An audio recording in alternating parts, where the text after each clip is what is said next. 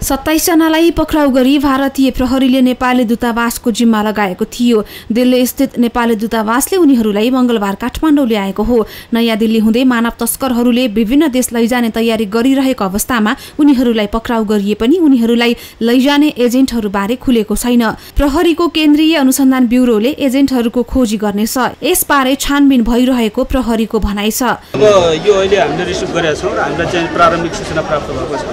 र यो वास्तवमा उहाँहरू के कुन परिबन्धबाट त्यहाँ जानुभएको थियो त्यसको अनुसन्धान हुन्छ र वास्तवमा पीडकको खोजी हुन्छ र पीडकको कारवाही हुन्छ यदि उहाँहरूमाथि अपराधहरू छ भने।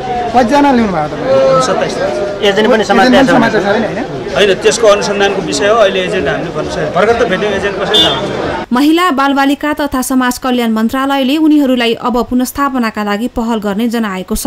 दिल्लीबाट उद्धार गरी ल्याइएकाहरूको पुनस्थापनाका लागि मन्त्रालय लागि परेको सहसचिव राधिका अरियालले बताउनुभयो। ठुलो समूहलाई भारतीय प्रहरीले पक्राउ गरेर नेपाली दूतावासमा बुझाएको थियो र दूतावासले आवश्यक प्रक्रियाहरू पुरा गरेर नेपाल ल्याएको छ र उनीहरूलाई फ्रेन्डली वातावरणमा अनुसन्धान गर्ने र परिवारमा पुनर्स्थापना गर्नको लागि मन्त्रालयले अहिले पहल गरिरहेको छ। प्रारम्भिक सूचनाको आधारमा उनीहरूलाई दिल्ली पुर्याउने एजेन्टहरूको खोजी कार्य प्रहरीले थालेको छ।